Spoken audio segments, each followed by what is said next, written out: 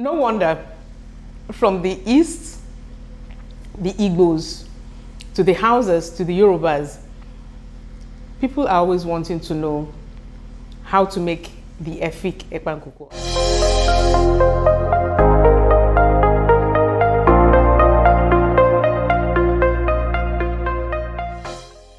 Hi there, my name is Iquo Ukoh.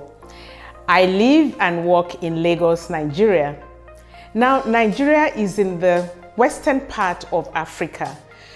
And if you look at the map of Africa, Nigeria is actually at the trigger point of Africa.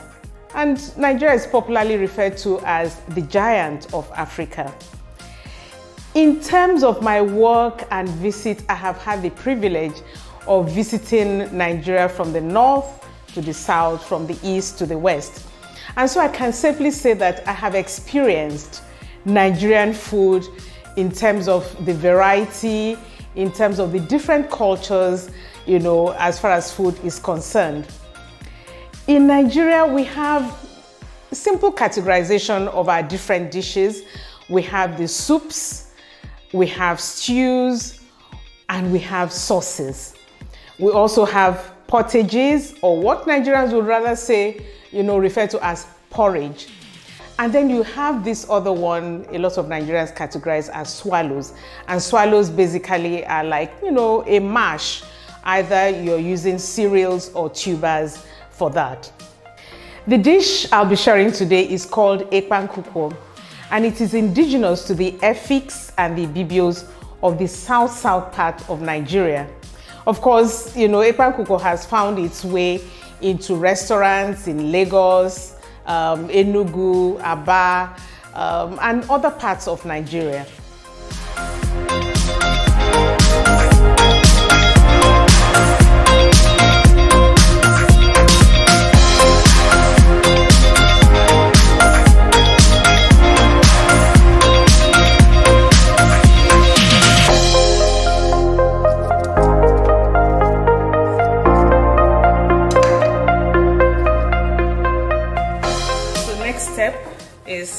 Section the leaves like that.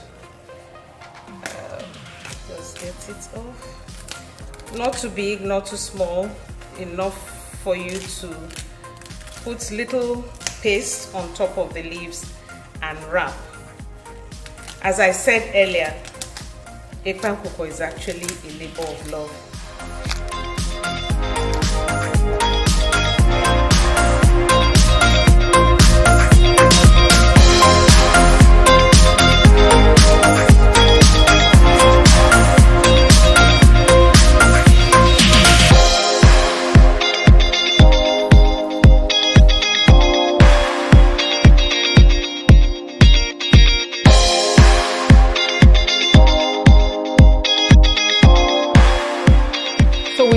The wrapping process. Uh, first by you know, adding some oil to the base of the pot. Uh, this is to prevent the cocoyam wraps from sticking. You know, so you swell this a bit um, to get the oil well lined at the base. Next, we add the periwinkle, which has been topped, tailed, and washed. And I'll show you how you suck this out. Like I said, this is part of the fun of eating a pankukwo. So you put that at the base of the pot. And it also provides elevation uh, for the wraps so that it also does not stick. We season that with um, salt and pepper.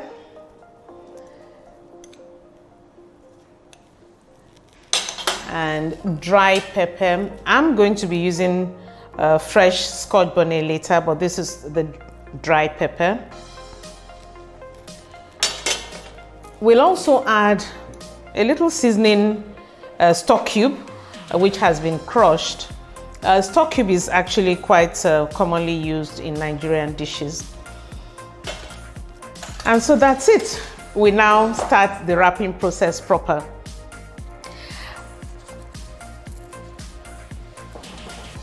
Remember I had mixed the cocoyam and the water yam. So you place that and wrap into little parcels like that with some bits peeping here and peeping at the base to help the cooking process. Growing up, um, I know that ekpan was just something that you would find the aunties, the older women coming together and doing the wrapping because uh, usually they're not wrapping little pots like this, by the way. It's um, a, big pot of ekpan which is being cooked for the family. So you need as many hands as possible to do the wrapping. So you find the aunties coming round, and I remember then is dropping my aunties talking about who's married to who, whose child is about to get married, who has just divorced, and all manners of stories. Um, as we say in Nigeria, all manners of gist going on when Ekpan Nkukwo is being wrapped. And so you take it little by little so that um, it cooks through. You can't put too much for each wrap. With Nigerian dishes, it is actually a lot of complex flavors. I mean, if you look at the goat meat with its flavor, fish, smoked fish, uh, cow skin with its flavor, the shrimp, the crab, and then finally you're going to add crayfish. It's a lot going on in one pot of, um, of um, a pottage. But that's the beauty about Nigerian meals. So we layer with some onion.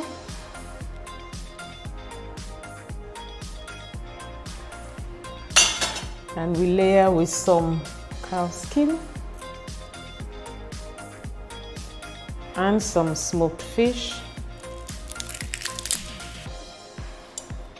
and some crab and some prawn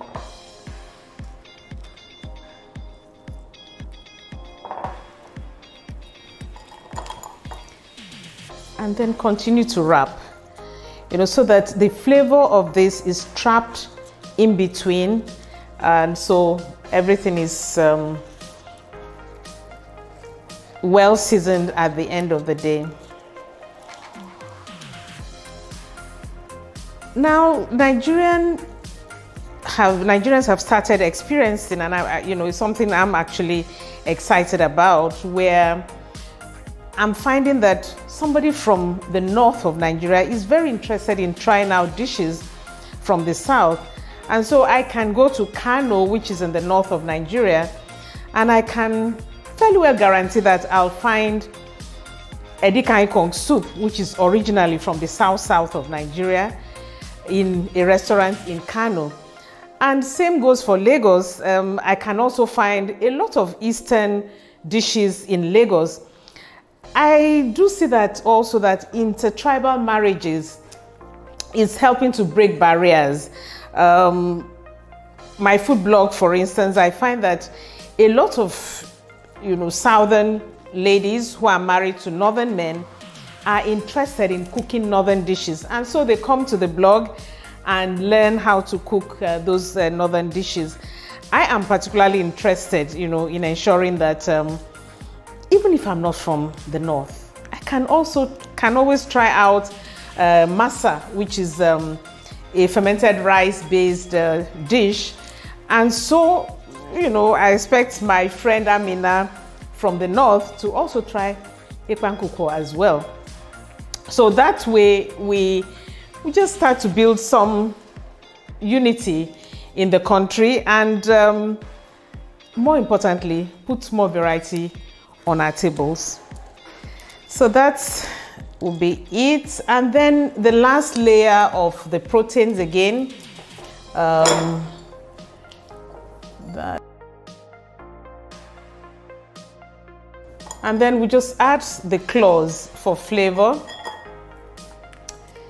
Add the claws for flavor. Add the last bit. And so we get cooking now. So we have water boiling, which will be used you know, for the ekpankukwo. So in the meantime, I get this to heat up on low heat. The cooking is done particularly on low heat because cocoyam takes a bit of time to cook and you want it to cook through. So we're going to add the water now. The thing with ekpankukwo is that you go on the edges um, and this is so that the cocoyam you know does not dissolve completely into water. So you go gently and you add the hot water on the edge of the pot. But not too much. Uh, this is the first stage of addition of water for it to just steam up a bit. Remember you're cooking on low heat so that the cocoyam takes time to cook through and subsequently we add more water until the cocoyam uh, is completely cooked. Now, you know, I talked about soups and stews. For the Nigerian typical soup, I always say is water-based in the sense that you start with your meat and your fish and then you pile on your vegetables, thickeners, and then palm oil and the rest. With that, you combine it with what is called swallow. It could be combined with rice or boiled yam or boiled plantain or boiled cassava. Now stew on the other side is pretty much standard. Sometimes it's actually fried and sometimes it's boiled. But the major components of stews are tomato, pepper of different variety, onion, some oil in it, and then you add your protein sauce. Look, for most Nigerians, if you check our fridges or freezers, because a lot of us do bulk cooking, you would always find a bowl of stew there. Now, I talked about sauces on the other hand. There are different definitions of sauces for, for us in Nigeria. Um, but I think sauce is just a term that we have just borrowed uh, from the European sauce, which is, you know, something that has a tinge of, let me say, English is not typically an African dish because really in the African setting, we don't have what we call sauces like that. I mean, you could have something like we call garden egg sauce, which is not actually sauce but a stew. Um, so the definition of sauce in Nigeria is open to um, further discussion. We have our pottages, some people say porridge, always another debate in Nigeria. So what I'm cooking is a typical pottage.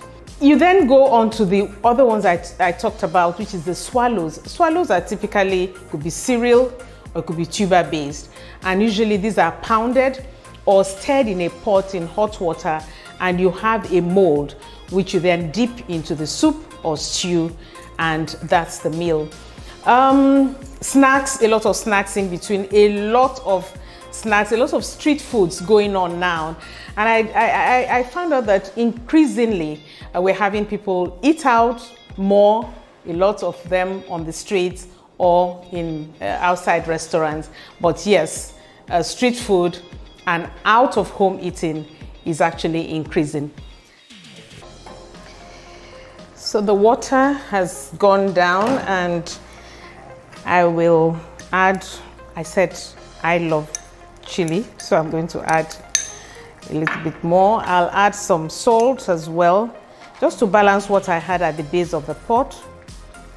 Some seasoning cube, crushed.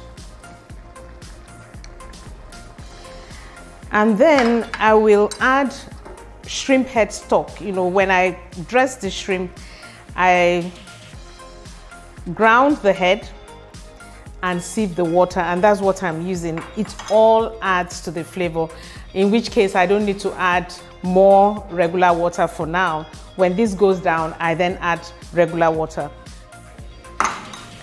So we'll be adding the goat meat at this point, and that's because I had previously cooked this. So we just put that on top. As you can see, the the pottage is steaming through and so the cocoyam is cooking as we go. So I add the stock and also add crayfish at this point.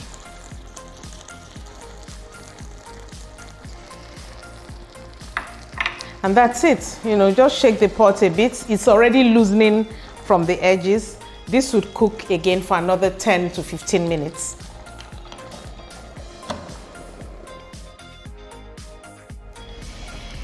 So we are almost at the end. And um, usually, you know, I stir from the sides so I don't break up the wraps. Stir from the side. And at this point, I can actually take out some of the obstructions, the claws of the prawn, which would have done most of its job of adding flavor but we'll also crack some of this later. And I can actually take out the goat meat as well, it's cooked, uh, but this is just to allow me space to stir the pottage. I can take some of it out and I'll return it when I'm done.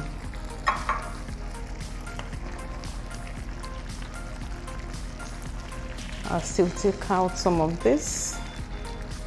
Okay. So now I add the oil, the palm oil. Remember I added some at the beginning, but this is just to finish off. That will be it. And allow this to cook. As you can see, the, the wraps are still there. It's not all crumbled, but at the same time, you have a pottage. The, the, the sauce thickens I'll taste for salt.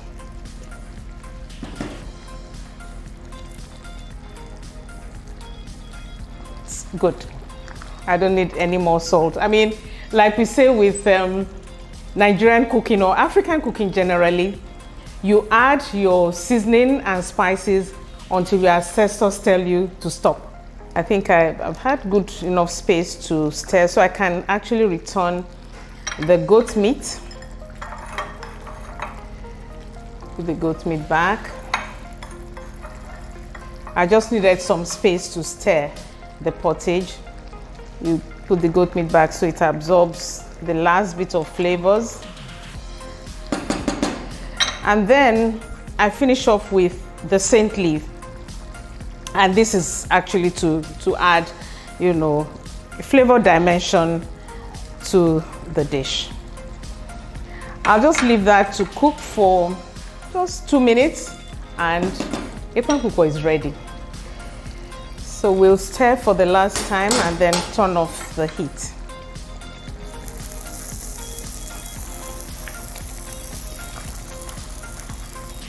We have so many obstructions in this dish.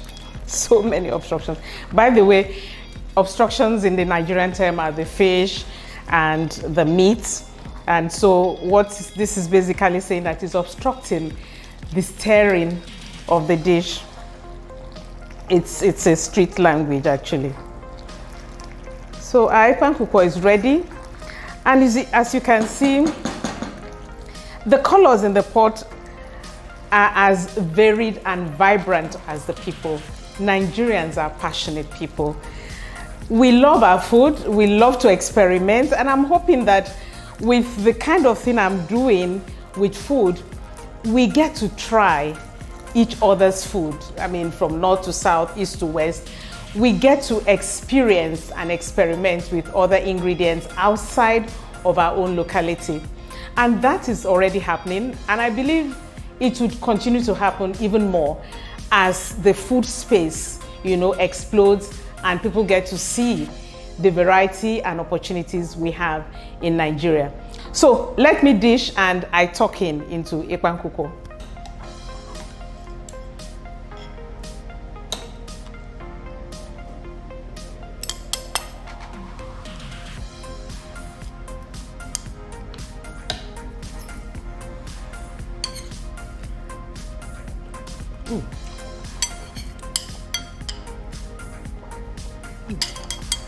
So, I mean, this is a dish you're going with the cutlery and you're going with the hand at the same time. This is the periwinkle. I take out all the goodness from the outer shell and I suck from the front here.